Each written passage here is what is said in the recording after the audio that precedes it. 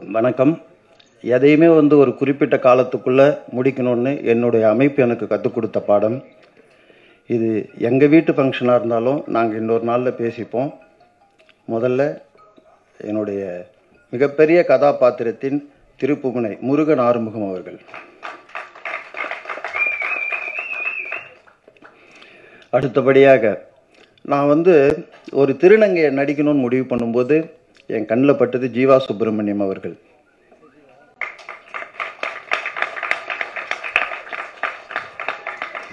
நம்ம கிட்டத்தட்ட வந்து நான் நிறைய பேரை செலக்ட் பண்ணியிருப்பேன். எனக்கு பிடிக்கல. அதே சமயத்தில் எங்கேயோ ஒரு ஷார்ட் ஃபிலிம் பார்த்துட்டு செலக்ட் பண்ண என் ஹீரோயின் தான் சரண்யா ரவி.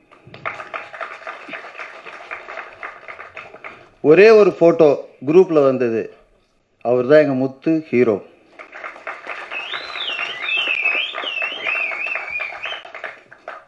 அடுத்து ஒரு சின்ன பாத்திரங்கள்லாம் தேர்வு பண்ணும்போது திரு கயல். திரு ஃபெரோஸ்கான் நேரம் கருதி பெரியவங்க எல்லாருமே அவங்கவுங்க போகணும். எங்களுக்கு இன்னும் சந்தர்ப்பங்கள்லாம் கிடைக்கும். ஏன்னா எப்பயுமே குறிப்பிட்ட கால நேரத்திலும் குறிப்பிட்ட நேரத்தை நாம் எடுத்துக்கக்கூடாது. நான் எப்போ வேணாலும் பேசிப்பேன். எனக்கு இந்த பிரச்சனை இல்லை இது என் வீடு.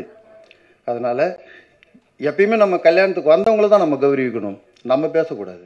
எங்கள் டீம் எல்லாருடைய பேச்சின் சார்பாக நான் பேசிக்கிறேன். இந்த படம் வந்து கஷ்டமாக தான் இருக்கும். கமர்ஷியலாக எடுக்கலன்னு. பட் பரவாயில்ல. நன்றி.